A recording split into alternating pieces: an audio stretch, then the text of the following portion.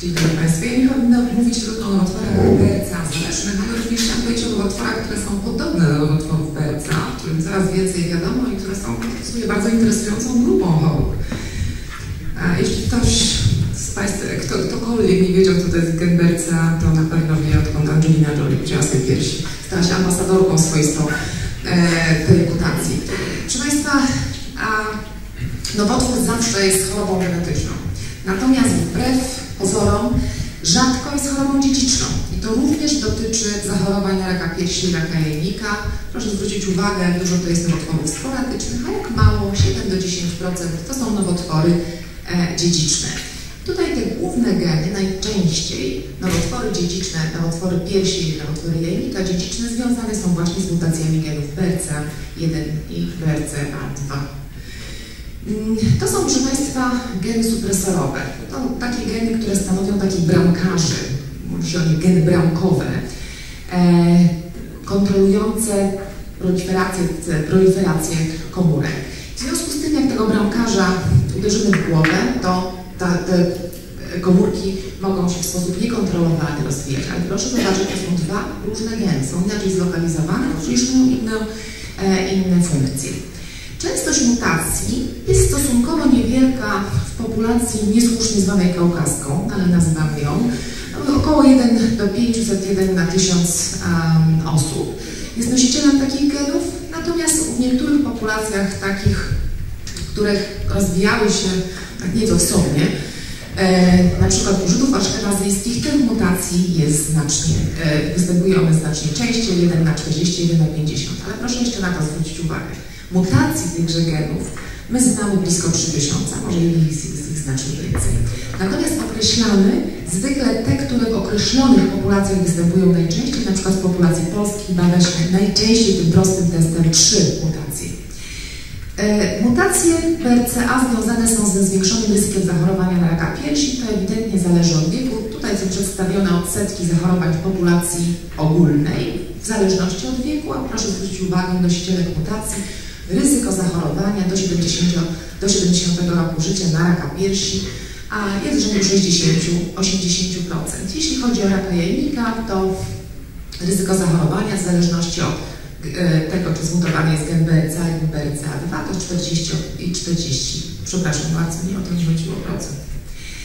Czy to są nowotwory inne niż, te, niż sporadyczne? Jeśli chodzi o raka piersi, to Przede wszystkim rokowanie u chorych z mutacją, z mutacją BRCA1 i BRCA2 jest mniej więcej takie samo jak w nowotworach sporadycznych, a charakterystyka biologiczna guzów z mutacją BRCA2 jest taka sama, bardzo podobna jak bez mutacji. Natomiast guzy z mutacją BRCA1 to częściej guzy właśnie tak zwane potrójnie ujemne, czyli pozbawione receptorów hormonalnych i receptora HER2 i często są to guzy nisko zróżnicowane, czyli te gorzej rokujące. Jeśli zaś chodzi o raka jajnika, to najczęściej są to nowotwory, zwane surowicze, mają bardzo dużą wrażliwość na leczenie pochodną platyny i rokują lepiej niż nowotwory sporadyczne.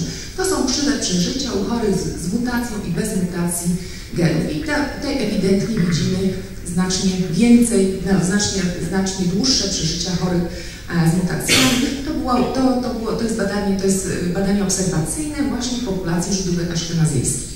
Dlaczego? Bo te chore lepiej odpowiadają na leczenie platyną, niezależnie od linii leczenia. I w pierwszej i drugiej linii ta odpowiedź jest zdecydowanie lepsza i to się przekłada właśnie na czasy przeżycia ogólnego. Jak sobie popatrzymy, cały czas mówiąc o raku jajnika, jaka, jakie jest rokowanie w zależności od tego, czy to jest mutacja BRCA1 czy BRCA2, to się okazuje, że najlepiej rokują właśnie chore z mutacją BRCA2. Znacznie lepiej, dłużej żyją, mają większą częstość odpowiedzi i wydaje się, że to jest ta grupa rzeczywiście najlepiej rokująca. Pamiętajmy o tym, że to są dwa różne geny, że one mają inną funkcję, mają y, y, oba geny a, wpływają na mechanizmy naprawy DNA, ale zupełnie w inny sposób. Podwyż Y, chore, które są nosicielkami mutacji BRCA, mają podwyższone ryzyko zachorowania na nowotwory, zachorowania w młodszym wieku. Ten wzrost ryzyka jest y, również obserwowany wobec innych niż rak piersi napiętnika nowotworów. Może to mieć wpływ na rokowanie w przypadku raka jajnika i pamiętajmy o tym również, że ponieważ to są różne szlaki sygnałowe, to my powinniśmy w wielu wypadkach rozróżniać te mutacje BRCA1 i BRCA2 i ich wpływ. I również, ja zaraz o tym powiem, niektóre nowotwory bez mutacji BRCA1 i BRCA2 mogą, potrafią być do tychże podobne. Ale czy to oznacza inną, identyczną biologię i wrażliwość na leki? Tego do końca nie wiadomo. Mechanizmy naprawcze. Proszę Państwa, komórki, nasze komórki, jak wiemy, to są mądre komórki. I w przypadku, ponieważ narażone są zawsze, nie tylko przez nasze leczenie, ale narażone są na uszkodzenie DNA, w związku z tym posiadają różne narzędzia i różne mechanizmy, które potrafią to DNA naprawić. Natomiast tu są przedstawione na tej rycinie tylko dwa mechanizmy naprawy, tak naprawdę jest ich znacznie więcej. Jeżeli te mechanizmy ulegają uszkodzeniu, to powoduje niestabilność genomu. I wydaje się, że w związku z tym, jeżeli jeden z tych mechanizmów zostaje włączony, na przykład poprzez mutację genu BRCA2, wtedy następuje ten, y, to przeżycie komórki staje się zależne od tego mechanizmu kompensacyjnego. Jeżeli w jakiś sposób wyłączymy ten mechanizm kompensacyjny, na przykład za pomocą różnych leków, to możemy uzyskać śmierć komórki. Procesy naprawy DNA, proszę Państwa, to nie jest taka bardzo prosta sprawa, dlatego że ich jest znacznie więcej niż sama mutacja genu. Tych zaburzeń jest mnóstwo, również genów, które stanowią te bramki kontroli procesów, e, procesów proliferacji jest bardzo wiele. I tu rzeczywiście wkraczamy na prawdziwe pole minowe, ponieważ poszukiwanie narzędzi diagnostycznych, które mają te zaburzenia naprawcze zidentyfikować, ale przede wszystkim ustalić znaczenie, to jest właśnie pole minowe. Koncepcja nowotworów BRCA podobnych to jest właśnie poszukiwanie takich nowotworów, takich guzów, które mają podobne, które mają pewne zaburzenia funkcji genów, a, które są, przypominają a, e, mutacje BRCA, e, które, BRCA1 i BRCA2. W nowotworach sporadycznych, które sprawiają, że te, te guzy stają się podobne do nowotworów BRCA dodatnich. Takim przykładem są, jest właśnie rak piersi bazalny, czy rak piersi potrójnie ujemny, który ma cechy genetyczne właśnie guzów BRCA dodatnich. Mają podobne cechy jak ten bazalny podtyp dlatego się nazywa nowotwór BRCA podobny. Ale też warto o tym przypomnieć, że to nie jest tożsame. Większość mutacją BRCA1 to są guzy bazalne, potrójnie ujemne, ale tylko około 10% guzów potrójnie ujemnych występują w nosiciele mutacji. Jeśli zaś chodzi o raka jajnika, to sytuacja tutaj jest nieco inna, ponieważ większość nowotworów surowiczych wykazuje te genowe podobieństwo do nowotworów BRCA dodatni i wydaje się, że około 50 do 70% nowotworów surowiczych jajnika jest podobne do tych guzów BRCA. Można jest, można jest charakteryzować za pomocą takich definicji molekularnych, ale również fenotypowych, bo to są te guzy, które lepiej odpowiadają na leczenie platyną i które, i które y, te chore po prostu żyją dłużej i zdecydowanie lepiej rokują. Tutaj rodzi się pytanie, proszę Państwa, czy chemioterapia w leczeniu tych nowotworów BRCA dodatnich lub podobnych jest bardziej skuteczna, jeśli oparta jest o jakieś określone leki, to przede wszystkim mowa o lekach alkilujących. Czyli nowotwory z syndromem BRCA-NES, powinniśmy leczyć tak samo jak BRCA dodatnie i wreszcie czy istnieją inne możliwości leczenia tych guzów, przede wszystkim z udziałem leków ukierunkowanych molekularnie. Ponieważ a, mutacje genu BRCA2 zaburzają, powodują niestabilność genomu przez zaburzenia procesów naprawczych, wydawałoby się najbardziej logiczne, że leki, które uszkadzają DNA, właśnie leki alkilujące oraz promieniowanie, powinno być bardziej skuteczne w przypadku tych guzów. Tutaj niestety mamy pewien problem, oczywiście istnieją doniesienia, które mówią o większej skuteczności e, pochodnych platyny u chorych na utrójnie ujemnego raka piersi oraz chorych z mutacją BRCA2 i rzeczywiście istotnie więcej tych odpowiedzi się obserwuje u chorych z mutacjami, ale w badaniach prospektywnych to nie są już tak oczywiste wnioski. E, to jest badanie, proszę Państwa, również przedstawione w tym roku na ASCO. Badanie było od dłuższego czasu. E, to jest tak dość dyskusy, tak, e, toczy się dyskusja, czy u chorych z potrójnie ujemnego raka piersi, u chorych z mutacją genu BRCA2 powinniśmy stosować standardem leczenia, e, powinna być, e, powinny być pochodne platyny. Badanie niemieckie, badanie, w którym stosowano chemioterapię przedoperacyjną, czyli łatwo było ocenić jej skuteczność poprzez ocenę ilu procentach, u ilu chorych udało nam się całkowicie wyeliminować nowotwór. W tym ramieniu eksperymentalnym do chemioterapii dodano karboplatynę. I co się okazało? Okazało się, że u znacznie, znacznie większej grupie chorych, blisko prawie 20% więcej chorych miało tą całkowitą patologiczną remisję, czy całkowitą eliminację guza, u których zastosowano karboplatynę. Ale autorzy przyjrzeli się, jaki jest ten efekt tej dodania karboplatyny w zależności od tego, czy występują w tej grupie mutacje BRCA i czy wywiad u tych chorych, wywiad rodzinny jest obciążony słowem, czy u najbliższych krewnych obserwowano raka piersi i raka jajnika. I co się okazało? Okazało się, że ta korzyść z leczenia jest zdecydowanie większa u tych chorych, u których występowały mutacje, a największa u tych chorych, u których występowały mutacje i miały obciążony wywiad. Także ten zysk z dodania karboplatyny jest stosunkowo niewielki, no prawie marginalny, jeśli chodzi o chorych bez czynników ryzyka, natomiast znaczny u chorych z mutacjami. Ale znowu proszę zobaczyć, zupełnie inaczej wygląda sprawa, jeśli chodzi o mutację BRCA1 i BRCA2. Okazuje się, że guzy BRCA2 dodatnie są mniej wrażliwe na chemioterapię, znacznie, znacznie mniejszym odsetku chorych można uzyskać całkowitą eliminację guza. To jest inne doświadczenie, 317 chorych leczonych chemioterapią przedoperacyjną w jednym z ośrodków amerykańskich. Chore, generalnie chore z mutacjami BRCA2 z całkowitą remisją żyły tam dłużej, ale inna analiza, pomimo tego, że guzy BRCA2 dodatnie są tak mniej wrażliwe na chemioterapię, to rokowanie w tej grupie jest znacznie lepsze. Lepsze niż u chorych z mutacją BRCA1 i mniejsze, lepsze niż u chorych bez mutacji. Kolejna grupa leków, o które wydawałoby się warto powalczyć, to jest, proszę Państwa, e, nie warto powalczyć, raczej, raczej że warto wyeliminować być może z leczenia, e, to, są, a, to są taksoidy, bo ponieważ w liniach komórkowych mutacje BCA1 powodują oporność na taksoidy przy zwiększonej wrażliwości na pochodne platyny. I proszę Państwa, jak to wygląda w przypadku nowotworów potrójnie ujemnych? To nie są nowotwory z mutacją BRCA1, e, ale BRCA podobne.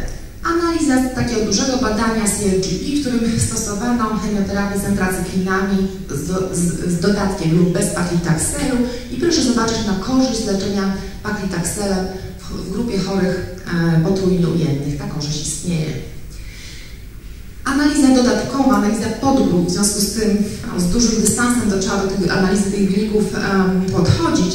Z takiego starego badania, w którym porównywano chemioterapię z antracyklinami, z starym schematem CMR, dużo leków alkilujących i okazuje się, że w tych guzach, nowotworach bazalnych większe korzyści właśnie z leczenia e, chemioterapią CMF.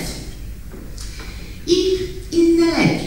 Czy tutaj w tej, w tej grupie guzów, tutaj mówię właściwie w tej chwili o nowotworach BRCA podobnych, bo o potrójnie ujemnym raku piersi, czy mamy szansę na wykorzystanie innych leków. Więc tak do tej pory największe, ewidentnie największe nadzieje i najlepsze doświadczenia mamy z wykorzystaniem inhibitorów polimerazy poliADP rybozy, tak zwanych inhibitorów PARP.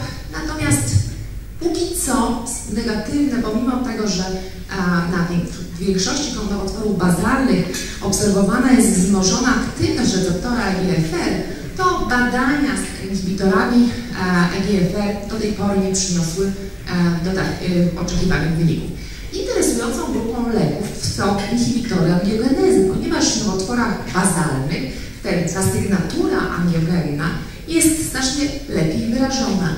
Ale to nie miła niespodzianka, metaanaliza badań z, bevacizumabem w leczeniu rozsianego raka piersi i w leczeniu, e, w leczeniu potrójnie ujemnego rozsianego raka piersi. Ona wykazuje to samo, co we wszystkich innych podtypach, mianowicie korzyść, jeśli chodzi o wydłużenie czasu do progresji i bez wpływu na czas przeżycia ogólnego, w związku z tym nie ma tutaj do podstaw do zalecania takiego leczenia e, w, leczy, w leczeniu potrójnie ujemnego raka piersi. Ja wracam do tych mechanizmów naprawczych. Powiedziałam, że ich wcale nie jest tak, jest znacznie więcej, ale to są te, od których komórka jest bardzo zależna. HR, e, homologiczna rekombinacja, BER, Base Excision Repair. W przypadku to jest komórka prawidłowa. Komórka z mutacją BRCA2 ma upośledzony ten mechanizm homologicznej rekombinacji.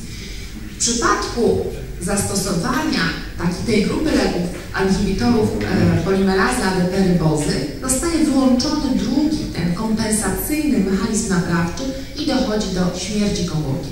Komórki prawidłowe natomiast zupełnie spokojnie funkcjonują, dlatego że mają właśnie te mechanizmy czynne, mechanizmy kompensacyjne. Dowiedziono to już dawno, to są prace pierwsze się pokazały na początku XXI wieku, to są prace na liniach komórkowych, których, które traktowano inhibitorami PARP i okazuje się, że ewidentnie efekt tego leczenia w przypadku mutacji komórek z mutacją BRCA jest zdecydowanie większy.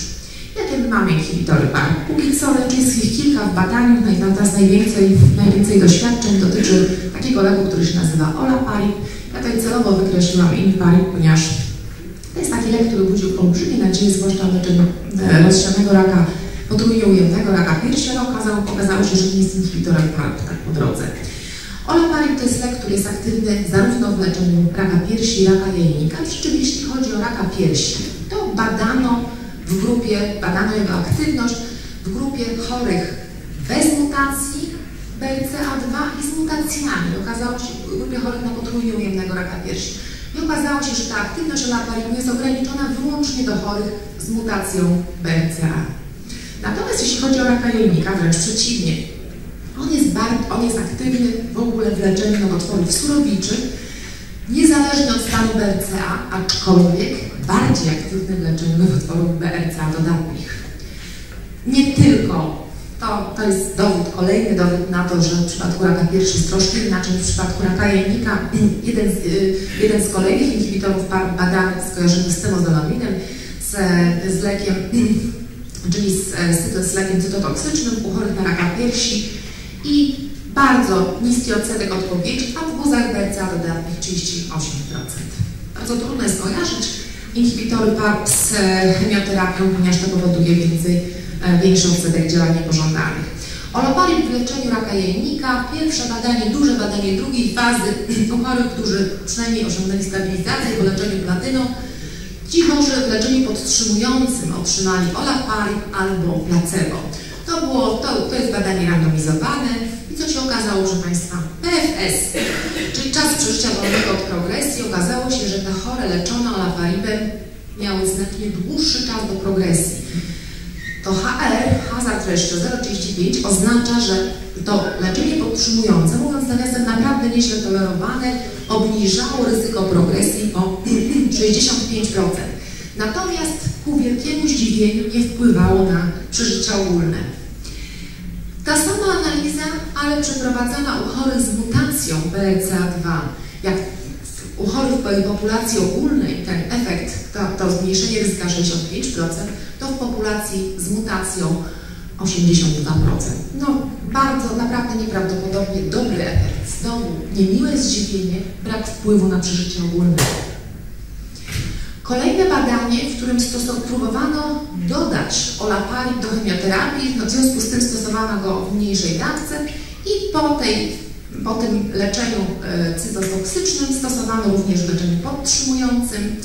Rozejście krzywych też korzyści z leczenia, z leczenia, ale rozejście krzywych po 6 miesiącach, czyli po tym okresie, kiedy stosowano chemioterapię. Już wiemy, że tego leku razem z chemioterapią stosować raczej nie należy i ewidentnie lepsze wyniki u chorych z mutacją BRCA HR021, zmniejszenie, podobne wyniki jak w poprzednim badaniu, zmniejszenie ryzyka progresji o 80%.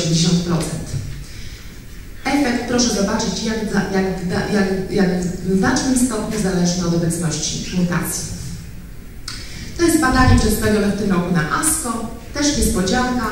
Olaparib w skojarzeniu z cedyranibem, lek antyangiogenny, który stosowany, który e, wykazano korzyści z podtrzymującego. 10, e, 8 miesięcy różnicy na korzyść leczenia skojarzonego i ta niespodzianka, chore z mutacjami, z mutacją BRCA2 odnosiły mniejsze korzyści niż chore bez mutacji. My nie wiemy dlaczego, na pewno te wyniki wymagają potwierdzenia. Próba osadzenia tego niejako w kontekście to jest badanie drugiej fazy. Do badań drugiej fazy trzeba, no myślę, że trzeba z pewnym dystansem podchodzić, ale póki co, bo to jest porównane z badaniami trzeciej fazy oczywiście, to te wyniki w postaci wydłużenia czasu do progresji są naprawdę bardzo obiecujące. Podsumowując, to jest lek, który ma naprawdę znaczną aktywność w leczeniu chorób RCA dodatnich. Monoterapia pod leczeniem podtrzymujących wydaje się prawdopodobnie obecnie, na, na, na, w chwili obecnej, na obecną, uwzględniając obecny stan wiedzy, optymalną opcją le leczenia. Niestety, póki co nie jesteśmy w stanie wydłużyć tym chorym przeżycia, natomiast znacząco wydłużamy ten czas do progresji. I wreszcie, a wydaje się obiecującym bardzo skojarzeniom cedyranibem. I podsumowując, proszę Państwa, nowotwory BRCA dodatnie i BRCA podobne, one nie są takie same. To jest tak, polski, język czeski to są języki tej samej grupy. My się rozumiemy nawzajem, no ale rękawice bokserskie to mordowe rozbijaczki. Może ktoś zrozumieć, ale to naprawdę nie jest to samo. I odpowiadając na te pytania, czy chemioterapia w leczeniu nowotworu BRCA dodatnych lub podobnych jest bardziej skuteczna, jeśli oparta jest o określone leki, można powiedzieć być może. Istnieją inne możliwości leczenia tych nowotworów z udziałem leków kierunkowanych molekularnie? W zasadzie tak, ale to dotyczy jednej póki co grupy leków i niestety w tej chwili dostępne są właściwie wyniki wyłącznie badań drugiej fazy bez korzyści w czasie przeżycia ogólnego. I wreszcie czy tak, że nowotwory podobne do tych z mutacją powinniśmy leczyć tak samo jak nowotwory z mutacją? Można powiedzieć jedno, zupełnie nie wiadomo. Dziękuję bardzo.